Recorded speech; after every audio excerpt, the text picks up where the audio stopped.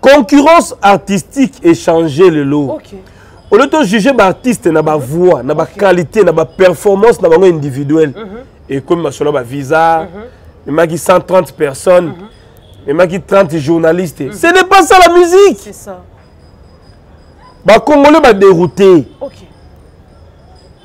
on dirait eza naobenga on dirait eza envoûtement ils ne savent plus quoi dire à la télé oyo nazwi biso eza pembe hmm. ok tokei ozo comprendre okay. wemba tobengaki legende aleki bango mm. mpo na voix okay. mpo na baarena te mm. alors fali côté concurrence artistique mm -hmm. voix prestation live et tout et tout on dirait aza na ba lacune okay. sikoyo achange makambo ake na balesa kote okay. papa wemba aza grand musicien na congo après papa wemba c'est tel tel mm -hmm. pourquoi on place papa wemba au sommet cité moi quatre grandes salles oyo papa wemba abeta na poto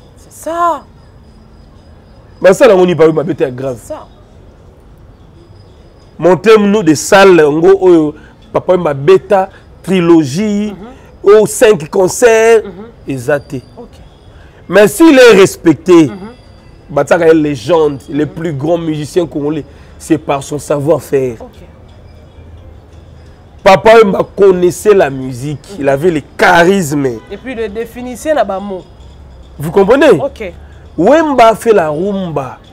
et abeta mpe world music deja mhm. kala obi na congo tokomisi kofi mwana bitendi kofingaka ye mais soki na mali babenga kofi the legend mm -hmm. oke okay, na nigeria des legends je suis de la rdc le pays de kofi olomide kofi adoubla déjà bamakambo oyo tozomona lelo mm -hmm.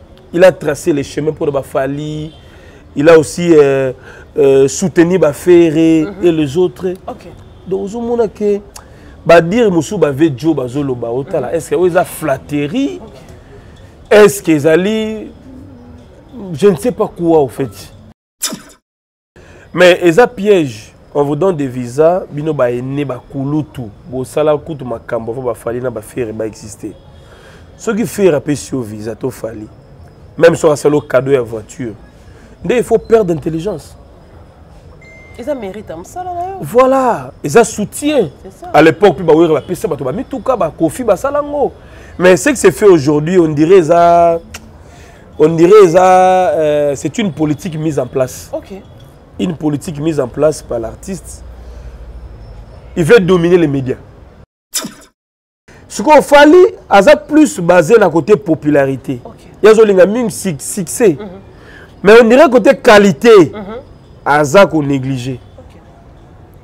il s'est plus lancé dans ba autotune na ye ba nini pour lui c'est la nouvelle technologie mm -hmm. lui il est euh, euh, précurseur mm -hmm. alors qu'ils ont négligé qualité chant ba faute ya kala oyo fala azo sala tondo mona te mm -hmm. tokoma mona ngo siko okay.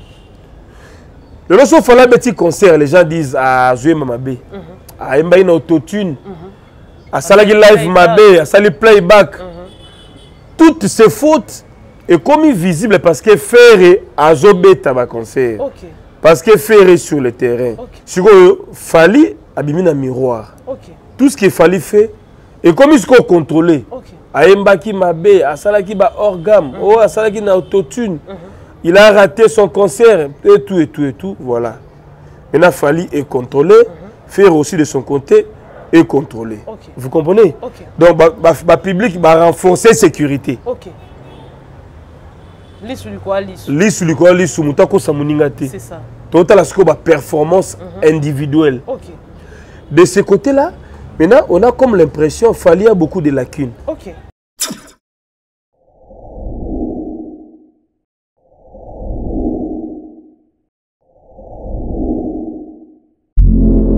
Voilà, ça a toujours été un plaisir pour nous de vous accompagner, mesdames, et messieurs. Bienvenue dans votre émission Masolo sur Afrique Centrale Télévision. Cette émission sera également diffusée dans Equilibre Équilibre Télévision, des chaînes partenaires au accompagner bino à travers de belles émissions ngai na ndeko Jérémy Lemba oyo nayebi ke bisika bozalaka bolingaka biso mpenza bomona biso ensemble deja napesi merci na franci mavi mpi de ro dans l'ombre mwana mobala lokolo pepele ngekosele lorentin yaya kati golo abik salutation à toi mon partenaire anonyme depuis quelque part. Un grand merci comme ça, tonton Blaise Lewaba depuis Chicago, na États-Unis d'Amérique, maman Lisa Loboko, na Peso Ambo Théâtre. Un grand merci à papa Kijambaki depuis Londres, papa Lembilamba, mon papa chéri depuis Londres, je te salue.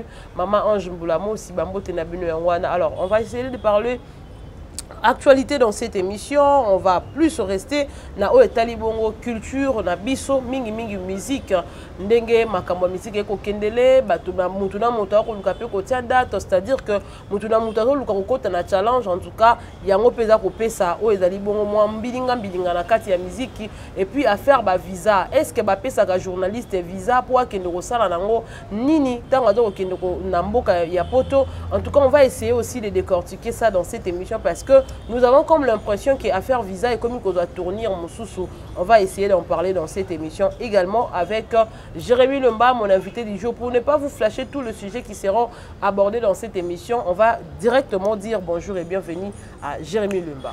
Merci beaucoup Naomi Yaba, la femme intelligente. Euh, merci pour l'invitation. Et aussi bonjour à toute la communauté qui nous capte de partout à travers le monde. Mhm. Ça a toujours été un réel plaisir hein, d'être à vos côtés, co-animer l'émission, analyser, donner euh, nos points de vue. Je crois que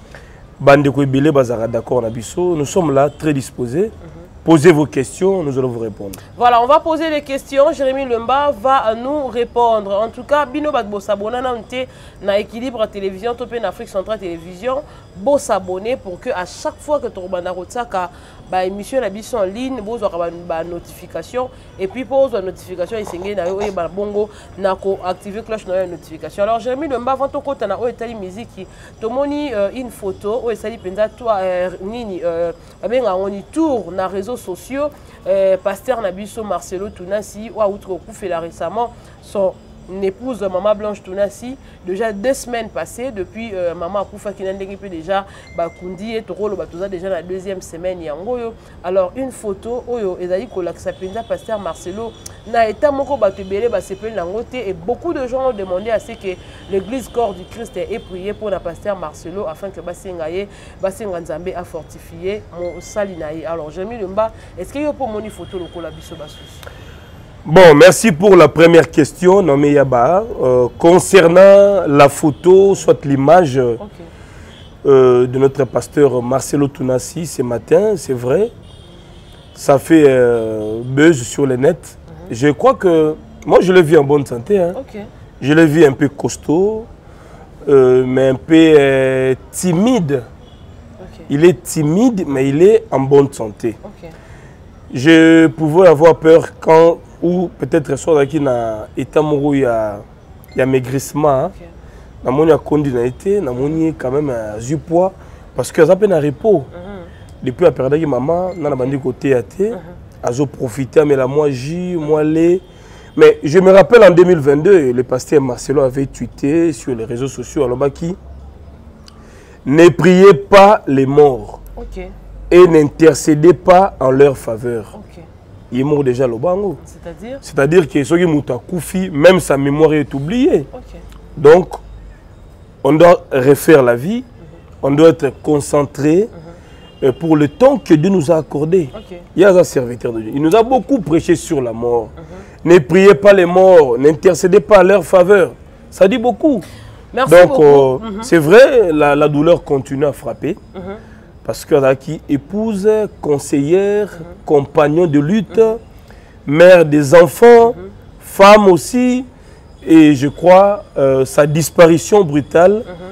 vraiment a impacté beaucoup mm -hmm. sur sa vie privée donc voilà merci beaucoup Jérémy Lemba en tout cas totikala non na sujet wana olobi omoni pasteur Marcelo en bonne santé mm. olingaki ozala peut-être na inquiétude, na inquiétude soki omonaki aza ya kokonda mm. mais laisse moi te dire que stress eyesaka monene yeba ke minene nyonso to ezalaka minene ya kimia te mais wana seke eza stress moko ya bien moi je préfère ça parce que ba stress abongo monaka moto alalala moto akufi na tension bon liwa ezalaka mm -hmm. décision finale ya nzambe okay. ezalaka edépendaka na biso bahumain te okay. Parce que tout à l'heure, tu étais venu me rendre visite pour que tout, pour tout ça l'émission. Mais on m'a appelé il y a un orphelinat okay. sur l'avenue bongolo non loin il y a université simo kimbango okay. na quartier yolo dans cette commune ya kalamu Et nous collaborons depuis plusieurs années avec euh, les hein. pasteurs Nash, les gérants Moboko Mais il m'a appelé devant toi mhm. pour me dire que il a perdu un enfant na orphelinat uh -huh. et je suis arrivé là-bas j'ai vu j'ai vu euh, l'enfant euh, de mes propres yeux un beau garçon courageux il avait 11 ans okay. lobi abelaki mot de tête il s'est réveillé avec des malaises asengi bomema ngai na hôpital motema moto pema ye akufi okay. mwana kitoko pour te dire que même borphelin bazokufa mwana oyo babota ye basundola ye mhm. maintenant il y a un monsieur qui avait un bon cœur à récupérer ye na victoire apesi ye amour apesi ye affection apesi ye sens en vie mhm. akomi na age ya 11 ans akufi atiki biso on a beaucoup regretté okay. il s'appelle daniel il a 11 ans okay. donc tokosenga na bandeko mingi botalaka équilibre télévision nous avons l'habitude de faire passer un spot ya orphelinat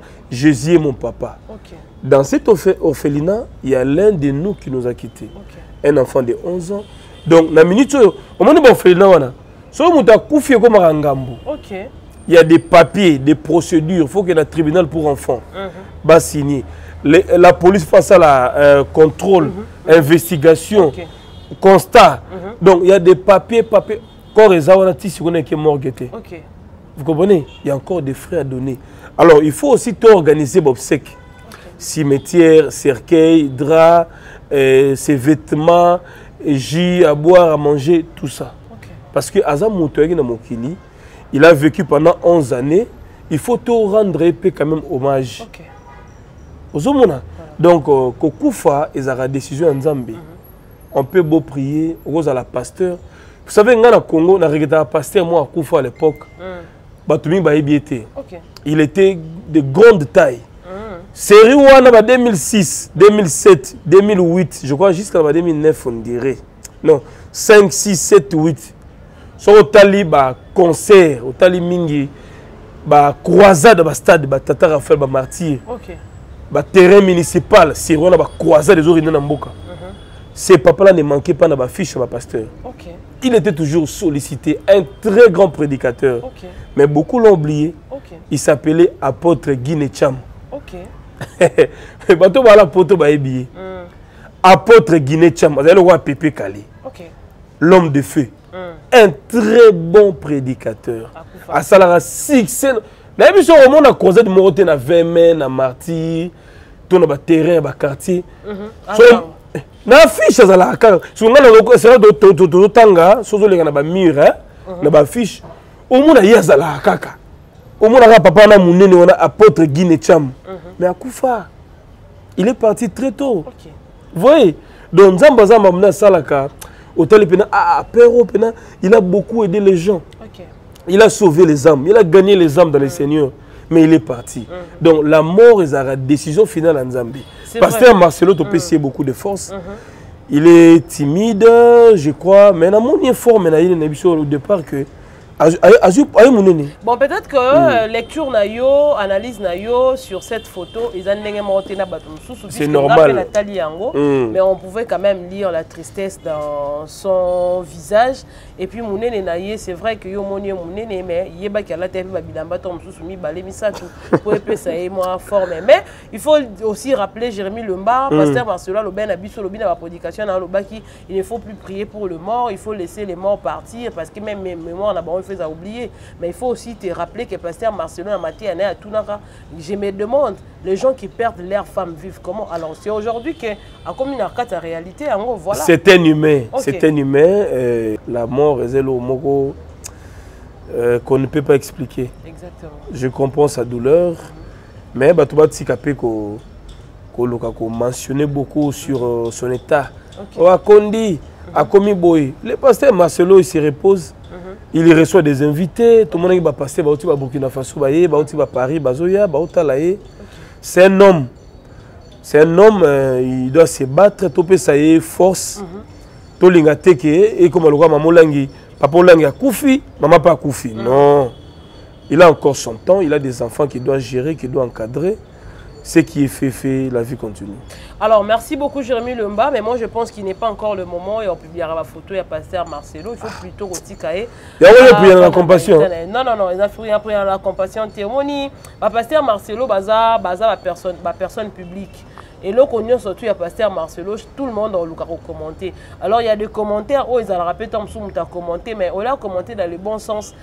a commenté mabe biso na bino tomonaki façon eh, eh, eke bato basalaki baanalyse sur la mort de sa femme ekomaki kokende meme malamu te donc euh, eza mpenza kitoko mingi te mpo na nga so boki botali pasteur marcelo inutile ya kozwa photo parce que c'est le même pasteur marcelo que vous avez connu alors jami lomba boni basango ya mindulu ya mboka na biso bon étant que patriote étant que amoureux de la bonne musique tozobina kaka tozosavoure kaka musique il mhm. y a rien de spécial okay. euh, je crois que terrain eza normal namoni kaka nde baannonce ebele ya baévénement na niveau europe uh -huh. même le vieux redi ya misi uh -huh. nous a donné une date oui, oui. il va jouer na bataclan uh -huh. si j'ai une bonne mémoire je crois wera abeta kuna à l'époque oui, oui, wera son a joué. bataclan eza mpe basalle eza nango euh, n'est-ce pas 1500 oui 1500 uh -huh. Et voilà, donc eza wana mindule ya mikolo. Ah. Et wana eza rendez-vous ya mikolo okay.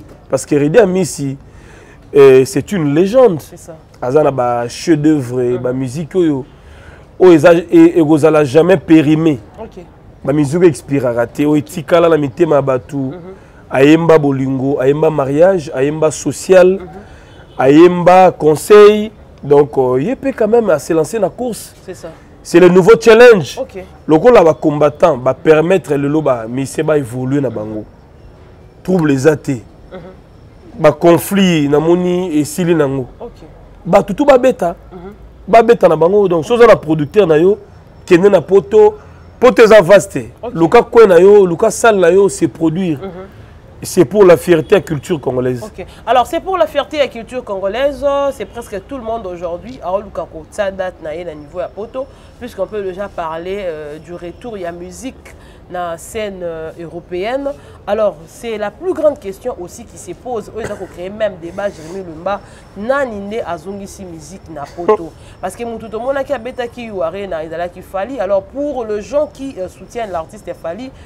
balobi na biso ke moto areusir kozongisa musique na poto se fali pupa alors ke ntango fali pupa abetaki concert na ye tomonaki bacombattant nde bazalaki nsimansima banda ya koboyikote concert et après se faire egola qui aussi avait signé son retour mais lui au moins il avait reçu même le soutien des combattants et après c'est maintenant tout le monde qui cherche à mettre des dates alors baquestion eza komitunana qui est cette personne oyo azongisi mpenza musique na poto bon c'est un débat que je vois régulièrement à la télévision mm -hmm.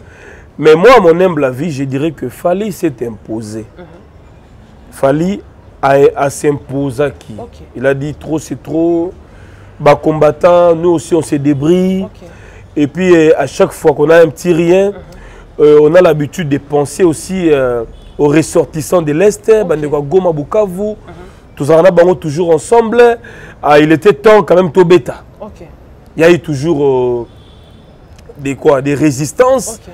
Mais à, à, à, la fin, Fali s'est imposé à Beta Concert il y a Accord Arena, ex-Bercy. 2020. 2020, uh -huh. mais c'était sous contrôle des militaires, gendarmerie française. Uh -huh.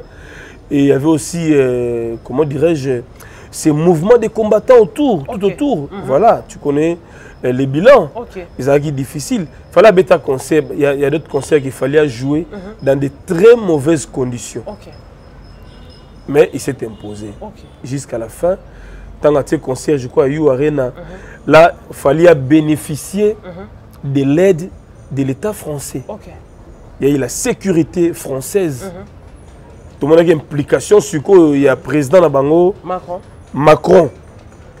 parce que l'état français s'est déplacé okay.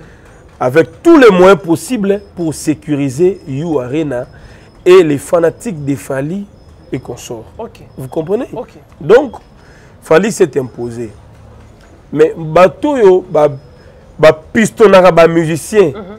pour que base produire mm -hmm. ce sont des producteurs okay. si le producteur a un marché mm -hmm. a une idée, a une vision pour l'artiste. Mhm. Je vais vous voir se produire dans telle salle, par mhm. exemple. côté en communication, bah, négocier, mhm. caler date, balancer billetterie. C'est à l'artiste de se produire. Donc, quelque part, remercions aussi les producteurs qui ont choisi Fali pour se produire. Vous comprenez Et Fali a tout fait pour s'imposer na ndenge abetaki epuis ferre aye kobeta mhm. maintenant na ntango ya ferre tomoni bacombattant barecule na bango okay. et ferre a, a, a joué un double événement na paris okay. c'était bien soldé okay. et après abeti mpe na suisse mm -hmm. calme et toki na bapays mosusu d'autres missions aussi bakali badate okay. donc eza kaka culture ya mboka nde eza valorise okay.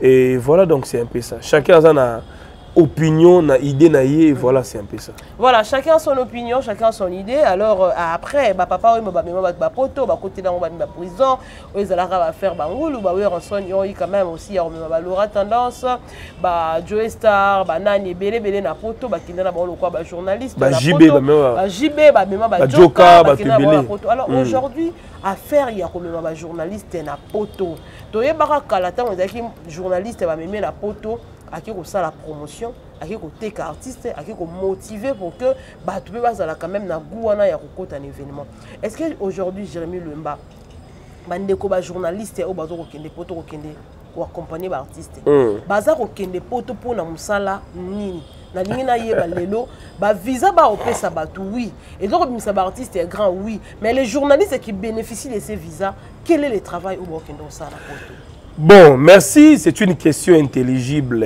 je crois que je dois lui répondre na deux volets okay. naomi eyaba uh mhm. -huh. femme intelligente vous savez que masolo komema bachroniqueur to bajournaliste na poto ebanda kala tu l'as dit non Exactement. tu l'as épinglé oui, oui. sikoyo ce que nous sommes en train de vivre aujourd'hui mm -hmm. avec Fali, c'est une politique mise en place. Okay sa gloire. Laisse-moi m'expliquer. Mm. Vous savez, la concurrence artistique mm-hmm. a changé de vitesse. Vous comprenez mm-hmm. Concurrence artistique et changer vitesse. Mm-hmm. Les gens veulent voir les musiciens bien chanter, bien danser, et surtout, bien faire les concerts live. Ce sont des points capitaux, aux bah, fanatiques. Bah, comment vous avez un concert, ton carrière et musicien. Okay. Fali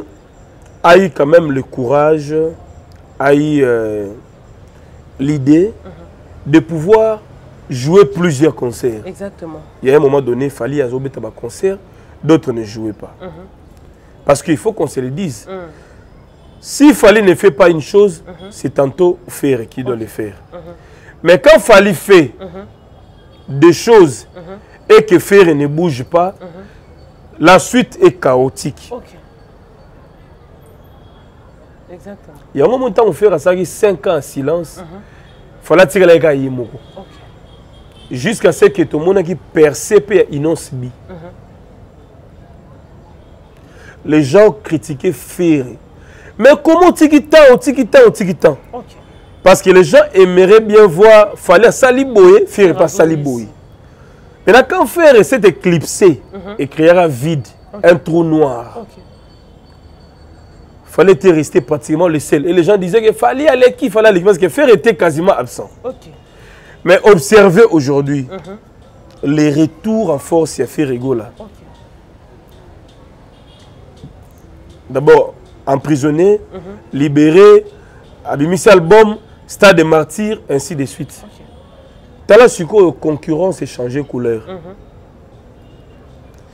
bafaute ya kala oyo fale azosala tolomona te mhm. tokomomona yango sikoyo lelo so fale abeti concert les gens disent azoyemba ah, mabe mhm. ayembaki ah, na autotune mhm. asalaki live mabe asali playback toutes ces fautes ekomi visible parce que ferre azobeta baconcert parce que ferre sur le terrain okay. sikoyo fali abimi na miroir okay. tout ce qui fali fait ekomi sikoyo contrôle okay. ayembaki mabe asalaki ba hors gamme mm -hmm. oyo oh, asalaki na autotune mm -hmm. il a raté son concert et tout et tout et tout voilà maintenant fali est contrôlé mm -hmm. faire aussi de son côté est contrôlé okay. vous comprenez okay. donc ba, ba, ba public ba renforcer sécurité okay. lisu likolo ya lisu lisu likolo ya lisu moto akosa moninga te totala sikoyo baperformance mm -hmm. individuelle okay. de ce côté là maintenant on a comme l'impression fali a beaucoup de lacunes okay. ferre ayembaka déjà bien c'est mm -hmm. vrai mais c'est comme si aza mpe susu kosala baeffort mm -hmm. a maintenir mm -hmm. capacité artistique na ye okay.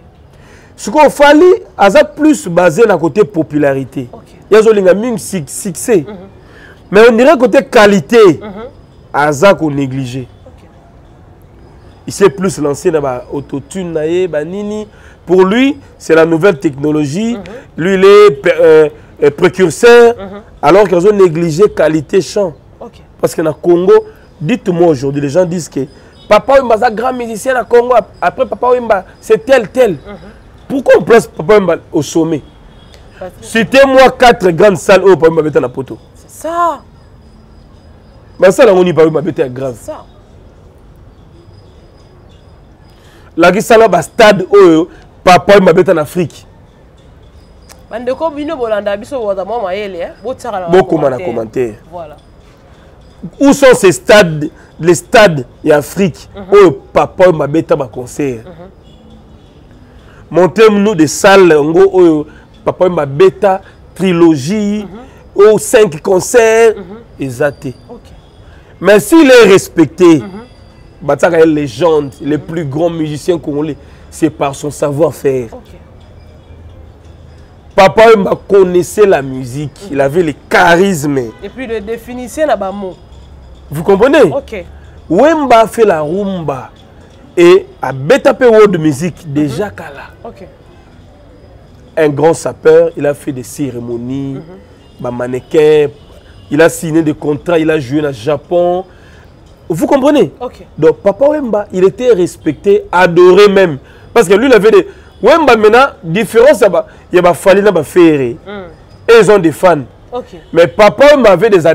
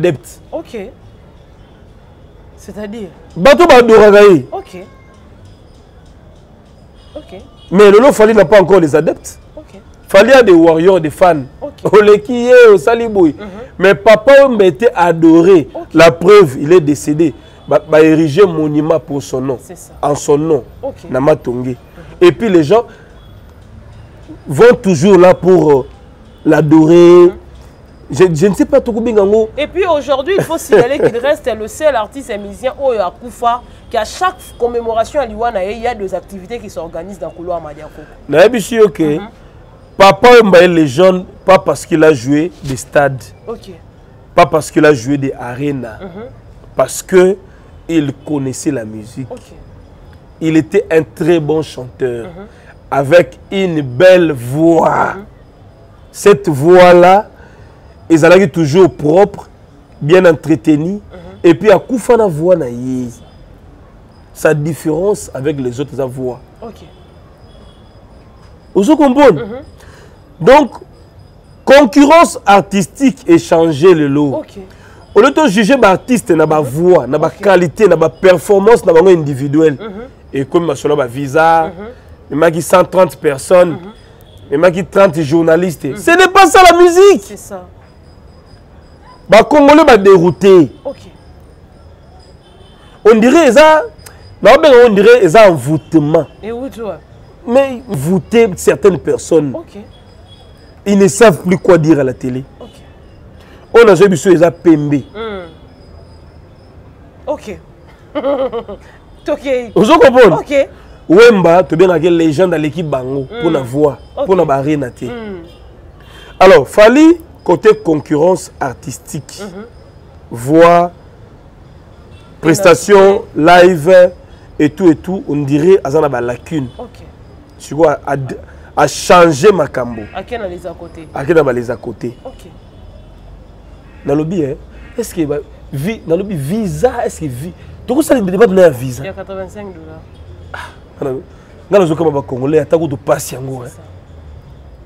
visa okay. mais c'est la chose la, la, aux moins cher okay. remplir les conditions c'est tout ça. est ce que visa eza primo na voiture même pas même pas même pas mais omona moto aza na voiture azobanga visa biso bacongolais te kongo epumbwaka na butu ah? te kongo epumbwaka kongo epumbwaka mama mais, mais, mais moi je ne comprends plus rien okay. en tout cas ngai na kocomprendre sur eloko te okay. fali akomi na badeba bavisa banini epuis asali recrutement ya bajournaliste mm. il prend tous ces journalistes vieillard bato basala bacarrière mm -hmm. il a commencé avec la, la nouvelle génération à l'époque il a monté baken piana bambuta likasu mm -hmm. bango bacreye bamaster mosusu baye baye baye baye baye leur temps eza quasiment passé mm -hmm. ken asi révolté mutalikaso asi révolté ce noyau ne, ne, ne, ne, ne plus mm -hmm. n'existe plus mm -hmm.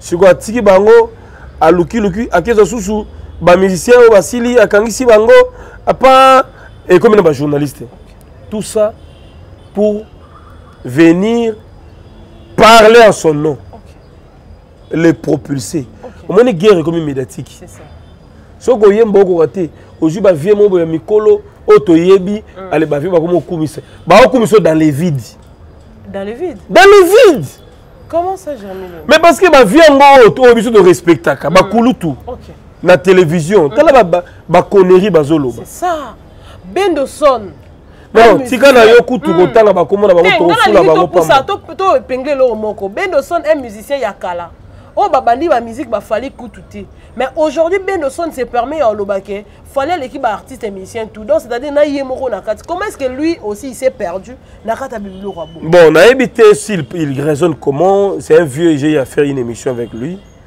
bon nayokaka loba ba français mm. bon parler français n'est pas aussi synonyme d'être intelligent c'est ça je ne sais pas mais papa wemba a écrit une histoire na musique okay. kofi olomide qu'on ne peut jamais ignorer okay. obi na congo tokomisi kofi mwana bitendi kofingaka ye mais soki na mali babenga kofi de legend mm -hmm.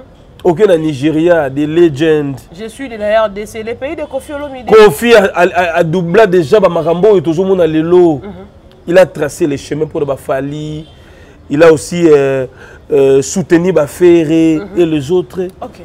donc ozomona ke badire mosusu bave jo bazoloba otala mm -hmm. est ce que oyo eza flatterie okay. est ce que ezali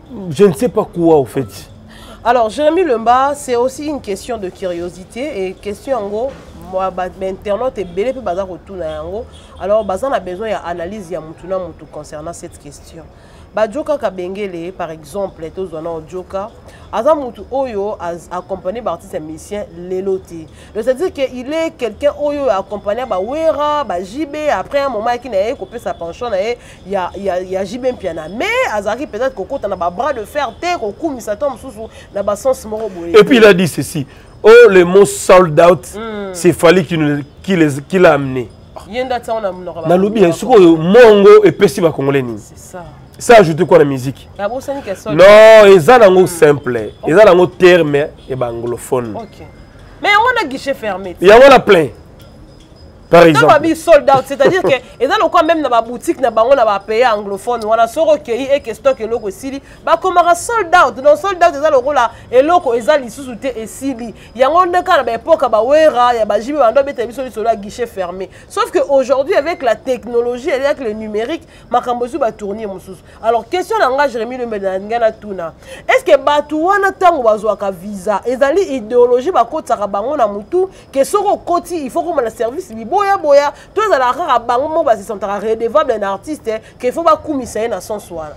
mais eza piège on vous donne des visas bino baene bakulutu bosala kutu makambo avo bafali na bafere baexiste soki fere apesi yo visa to fali même soki asala cadeau ya voiture nde il faut perdre intelligence eza mérite ya mosala na yo voilà eza soutien à l'époque mpe bawere bapesa bato bamituka bakofi basala yango mais ce que c'est fait aujourd'hui on dirait eza on dirait eza euh, c'est une politique mise en place okay. une politique mise en place par l'artiste il veut dominer les médias ah bon? ouais, il veut que balobelaka ye nde bon samaritain ye nde aleki bango ye nde ayebi même s'il ne fait pas bien ye ye ye ye ye donc eza politique moko communicationnel batia yango en place okay. tout est détaillé mm -hmm. lokola na miziki tozofute kote oyo bon ata na ndenge ya communication hein, mm -hmm. to inonde média ben, napesi bato bavisa bato bakoma kokuadore okay. c'est rien ce n'est pas ça au fait okay. mais la conscience aussi toko trahir yango te okay. vejoka totali baœuvre na ye baaction na ebele mm -hmm. il connaît le wenge okay. il connaît papa chéri il connaît oranson okay. lelo azolobaki babetaka babercy basalaka baplain te mm. ça c'est quelle ignorance ça, ça. mais pourtant ye moko kaka moto sikoyo mabe ya vejoka mm. il a niqué sa carrière ah? mais sa carrière niqué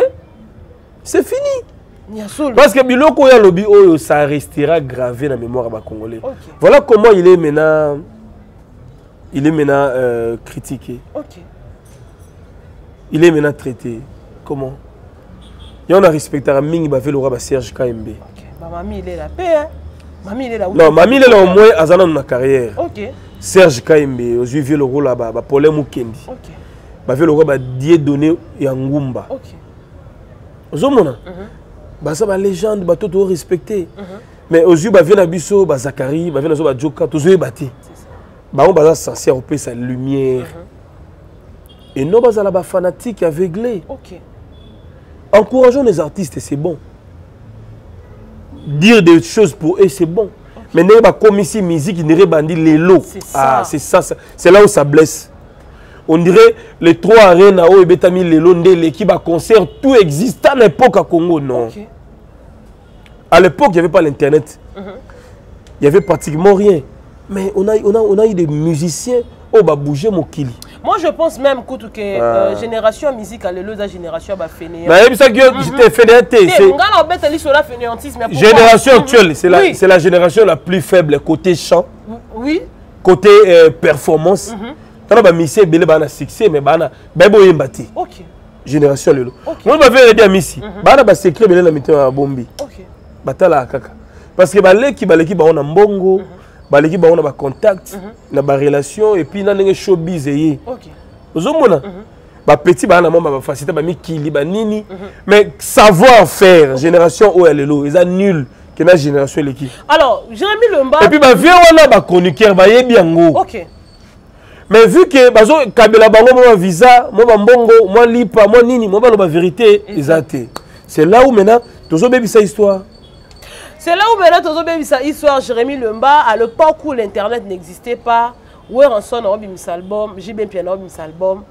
bomona ke bamaison d'édition bato baotonda ayebi eh. déjà ke non album ebuisa pipelelo naomona ondira internet eye koaffaiblir affiche ya pamba plein lelo nini nini ezongi internet lokola eye boye seke tolongola yango tozonga te internet eza bien mpona euh, je dirais vitesse mm -hmm. l'interactivité consort okay.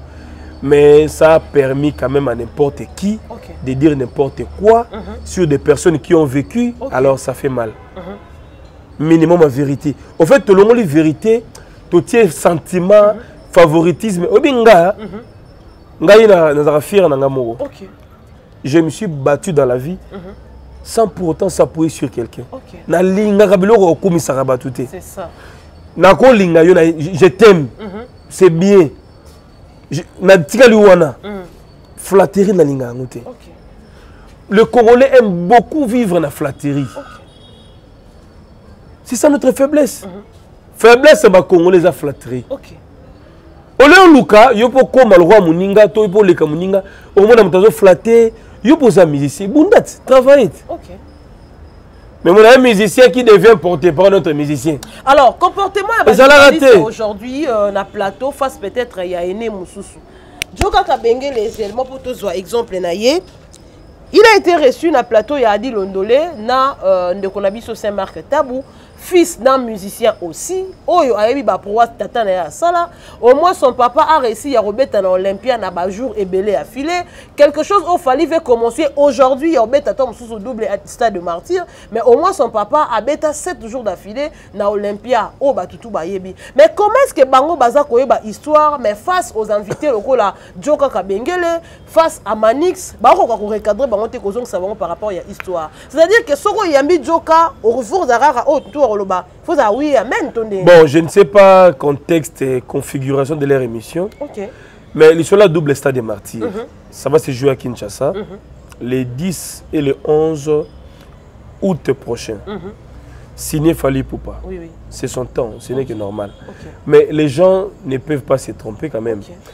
ba succès ba wera basala na ba JB si le penser mm -hmm. faire le double stade matiba nga basala ngo okay.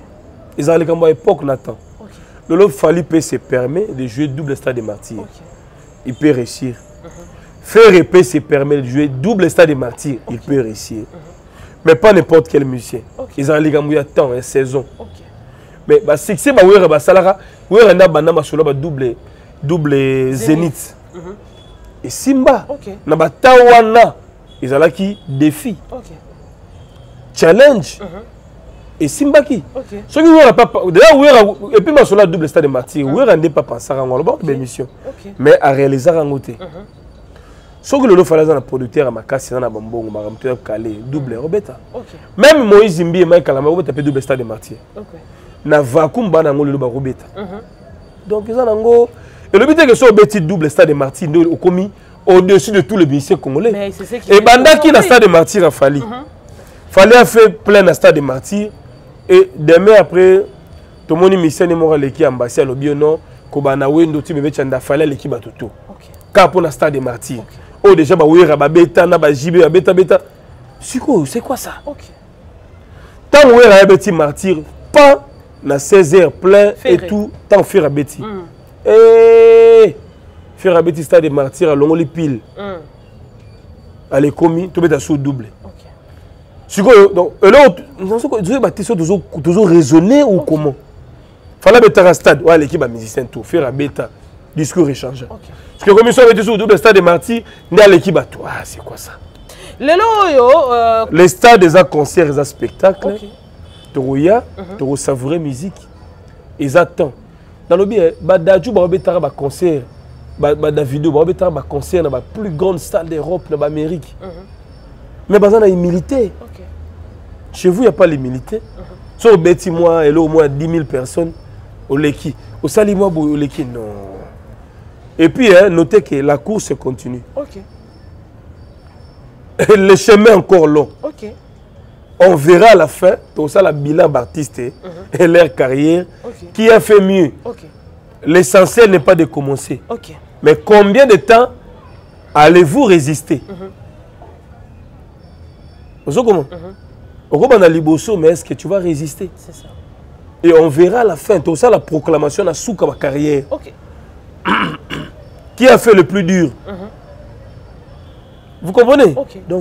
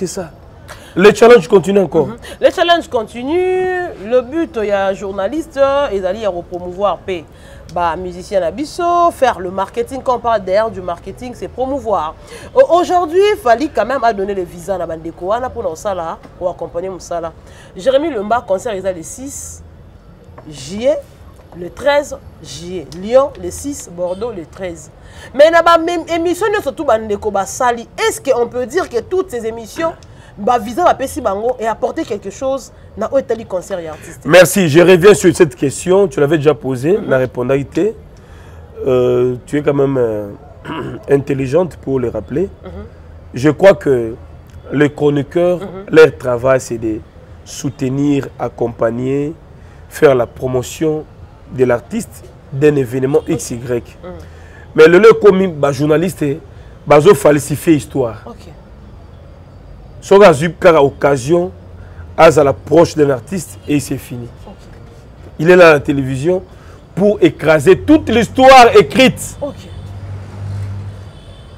par les anciens musiciens okay. pour eux histoire ebandi lelo okay. na paris na lyon na genève arena nde histoire ebandi okay. c'est décevant okay. c'est décevant mm -hmm. tokotia makelele ebele na bainternet mhm. toloba eloko malonga te même le vieux que nous respectons okay.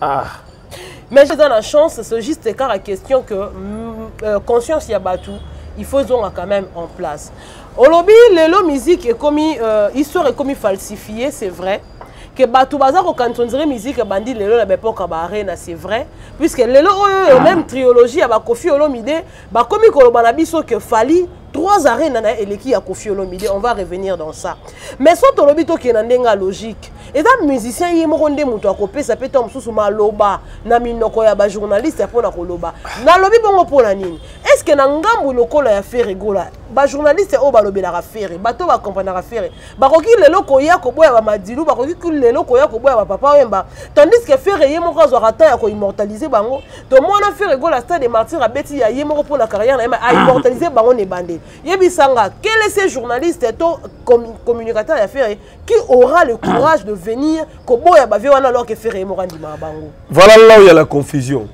ces communicateurs journalistes manix joka et les autres disent ceci après papa wemba c'est c'est fali na tout nio question ba arena ni pa wemba beta eza te mhm.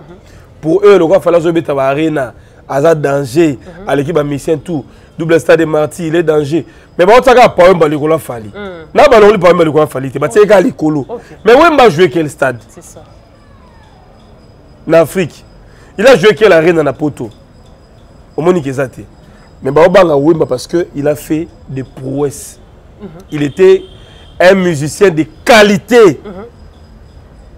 et non impressionniste mais kofi olomide aussi sikoyo kofi qui a joué de salle mm -hmm. ya minene mm -hmm. bango balobi ke fali aleki ye fali se kofi en mieux aujourd'hui lelo joka laisse moi réfléchir mm. tala pour te dire que okay. ils font des polémiques dans les vides okay.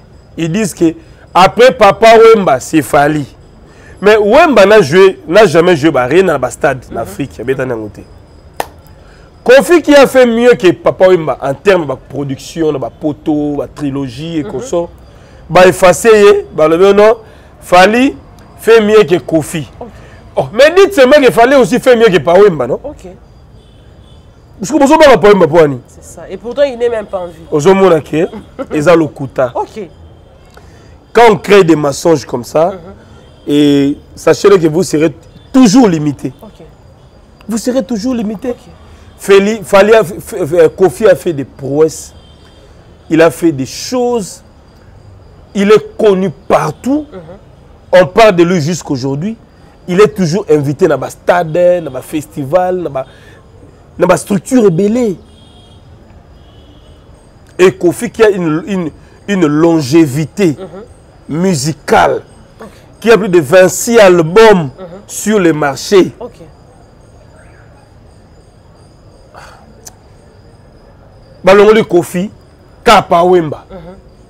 On pouvait encore ah. accepter ça ce que Outa pas à Manix. Ezali... Mais Outa pas à Joe Non non, même à Manix ou ana baza ba ignorant. Mais Manix ba ba ignorant ba musique il est là ba bien ngote même ba biso to leki bango. Mais Joka qui a vécu ba temps et belé na ba musicien, comment est-ce que Joka a ko comme à niveau ya ko diminuer même Kofi pour appeler sa fali gloire puisque tant le loi a ignoré visa, théologie, visa, visa. a ignoré théologie à Kofi Olomide, c'est-à-dire que quelque part a yé ko confirmer hypothèse ya Manix disant que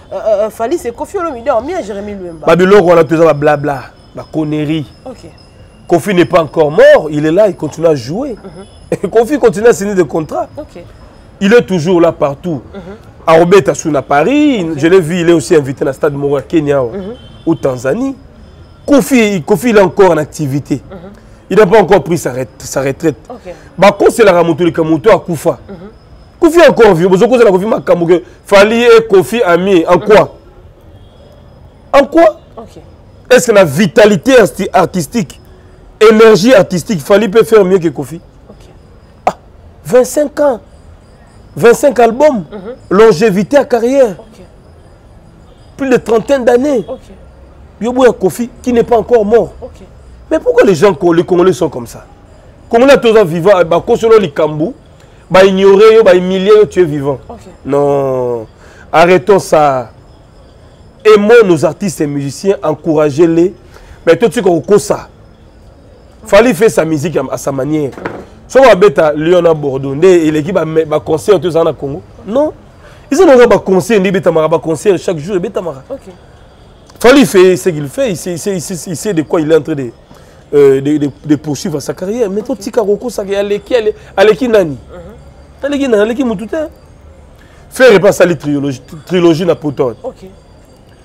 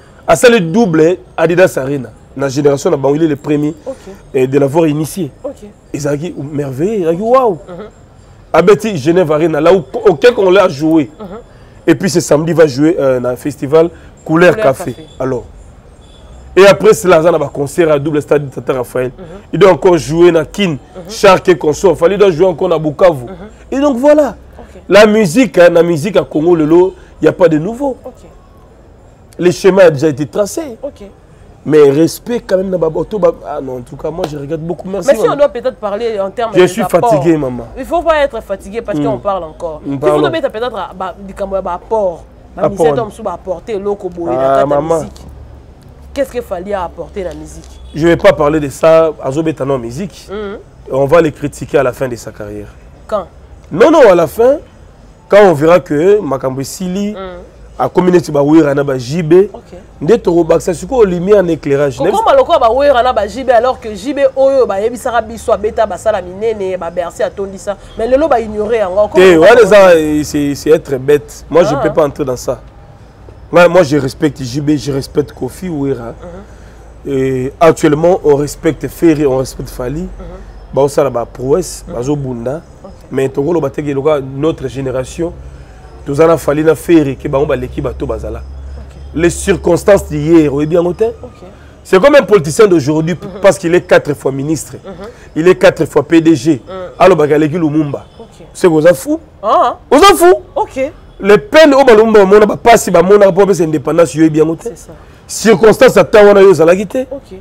badifficulté le problème de cette époque là oyebi yango nde ezalaki okay. te mpo ni bapolitie ba soki akomi ta président mais ake na, na jour le 17 mai ake pa lumumba le 7 janvier à s'incliner mm -hmm. aobenge héros national omona yango blague les gars qui ont vécu eh mais na musique ya beaucoup de l'impolitesse hein. mm -hmm. bon musique eza eloko moko à l'époque ndenge na bilongo bavoyou babandi basanganaki te mais quelque part eza mpe bamusicien te ce sont le journaliste non ce sont des musiciens ils influencent les communicateurs intox eza makasi ambo ah mais oui ta ba pesi au visa au fele na billet au fele mm. mais na yebi so différence awa ils ont des fanatiques ils n'ont pas des adeptes papa il m'avait des adeptes ba saper ba olela ba mise ba fukamara le grand maître le kourou mm-hmm. mon idéologie pa wemba c'est un maître d'école mm.